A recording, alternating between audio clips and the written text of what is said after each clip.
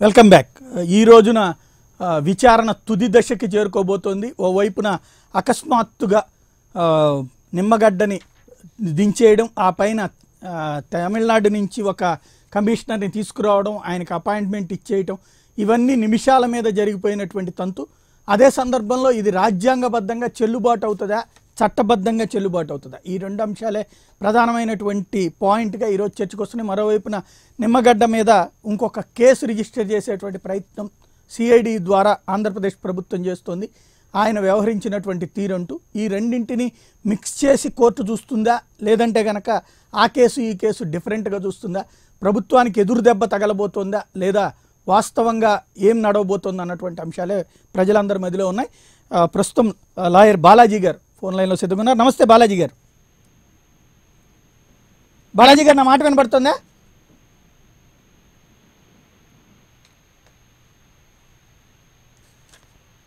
బాలాజీ గారు.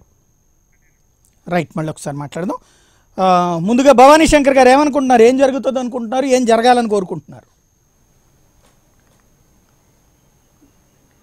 ముందుగా ఈ నిమ్మగడ్డ రమేష్ గారి గురించి ఇంతకుముందు కూడా మనం మాట్లాడుకున్నాం సాయి గారు. ఇక్కడ రమేష్ రమేష్ కుమార్ గారు గవర్నమెంట్ ఏ జీవో తీసుకొచ్చారో ఆ జీవో మీద కోర్టుకు వెళ్ళారు అది నిలబడ అది చట్టరీత్యా ఆ, చెల్లదు అనే ఉద్దేశం మీద వెళ్ళారు. కానీ ఇక్కడ ప్రభుత్వం ఏం చేస్తుందంటే ఒకటి మనం గమనించాల్సిందంటే ఈ ప్రభుత్వం ఏం జీవోలు తెచ్చినా కూడా అది ప్రజలకు ఉపయోగపడే జీవోలు తీసుకొచ్చినప్పుడు ప్రతి ఒక్క ప్రతిపక్షాలైనా హైకోర్టు అని ఏదైనా ఖచ్చితంగా స్వా స్వాగతిస్తుంది. కానీ ఇక్కడ ప్రభుత్వం తన పంత నెగ్గుకునే దానికి జీవో తీసుకొచ్చారు పెట్టారు.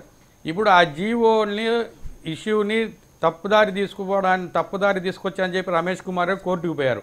ఆ కోర్టులో వీళ్ళు కౌంటర్ వేసేటప్పుడు ఎందుకు తీసుకొచ్చాము దేనికోసం తీసుకొచ్చినాం అనేది పక్కన పెడితే తన యొక్క రమేష్ కుమార్ గారి మీద పర్సనల్ అటాకింగ్ మీదే పోతుంది కానీ కౌంటర్లు అంతా కూడా తను మాకు ఇంటిమేట్ చేయలేదు అని. ఈ ఇష్యూ ఆల్రెడీ తెలుసు ఇంటిమేట్ చేయలే విషయం అందరికీ తెలుసు.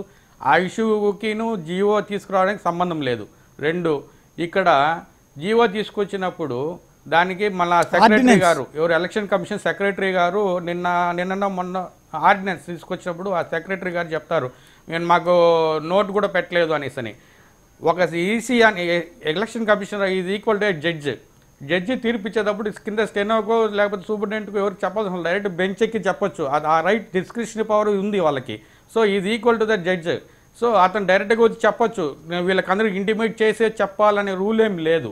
అదొకటి. మూడోది ఇప్పుడు సిఐడి కేసు అనేది దీనికి సంబంధం లేదు. ఇది డిఫరెంట్. ఇక్కడ అతనే ఒప్పుకుంటున్నా నా లెటర్ అనేది. అతను డైరెక్ట్గా బై హ్యాండ్ రాయొచ్చు లేదా టైప్ చేసుకొని ఇంకోరి దగ్గర టైప్ చేయించుకొని దాన్ని పెన్ డ్రైవ్ దగ్గర ప్రింట్ తీసుకొని సంతకం పెట్టి పంపించవచ్చు. అది అది అతని ఇష్టం.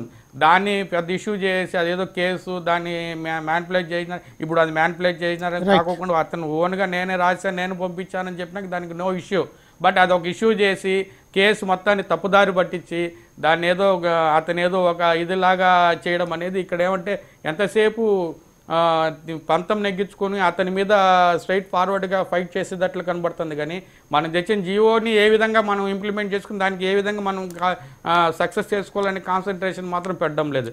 ఇక్కడ గవర్నమెంట్ అదే ఈ తొందరపాటున గవర్నమెంట్ కూడా ప్రజల దగ్గర ఏలే చూపించుకోవడం ఏమంటే మీరు ఇమీడియట్గా ఈ తమిళనాడు నుంచి రిటైర్డ్ జడ్జిని తీసుకొచ్చారు. కానీ మినిమం క్వారంటైన్ మెయింటైన్ చేయడం కానీ లేకపోతే ఇతరత్ర టెస్టులు చేశామని కానీ ఎక్కడ కానీ గవర్నమెంట్ కానీ క్వారంటైన్ మెయింటైన్ చెబితే పర్వాలేదు. ఆ రాష్ట్రం నుంచి ఈ రాష్ట్రం బై రోడ్ తీసుకొచ్చారు. కానీ టెస్టులు చేయడం కానీ అట్లాంటి కూడా ఏం చేయకుండా తీసుకురావడం అనేది కూడా ప్రజల్లో ఒక నెగ- నెగిటివ్గా పోతుంది. కాబట్టి ఇవన్నీ ఆలోచించాలి గవర్నమెంట్. ఒక నిర్ణయం తీసుకునేటప్పుడు మనం కరెక్ట్గా ప్రజల దగ్గర మనం ఈ విధంగా చేస్తున్నాము దీన్ని మనం ఏలే చూపిస్తే మనం దానికి సమాధానం ఏం చెప్పగలుగుతామని కూడా ఆలోచించాలి. ఇవన్నీ చూస్తామంటే రమేష్ కుమార్ గారి కేసు మాత్రం నాకు తెలిసి సిఐడికి దీనికి సంబంధం లేదు. ఇది సపరేట్ కేసు కాబట్టి దీని మీద ఈరోజు నిర్ణయం ఏమనేది హైకోర్టులో తుడి నిర్ణయం రావచ్చని నేను కూడా అయితే భావిస్తున్నాను. రైట్